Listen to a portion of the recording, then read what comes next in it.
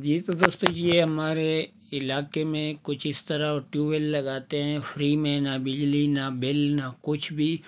तो ये कैसे लगाते हैं? ये लड़का ये देख रहे हो, नीचे पाइप इन्होंने लगाया है और बहुत बड़ा डैम इन्होंने बांधा है आगे से दीवार दी है। ये करिश्मा जो है, अल्लाह ताला का पानी एक अल्लाह ताला की नेमत है। ये हमारे जो गाँव में होता है, ये चश्मे से पानी आता है, बिल्कुल साफ़ पानी होता है।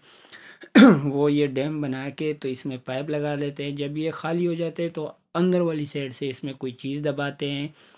ठीक है, कोई शापर वगैरह ताकि पानी बाहर ना निकले। तो ये पानी तकरीबन आठ दस घंटों में जमा हो जाते हैं। तो फिर यहाँ से हमारी इनकी ज़मीनों को पानी जाता है फ्री में।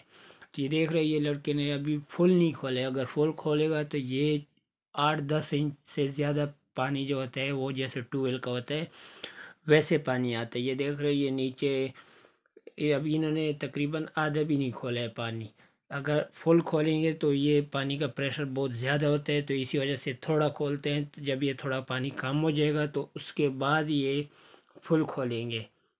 तो मैं यहाँ पर ऊपर वाली साइड भी आपको दिखा देता हूँ। यहाँ पर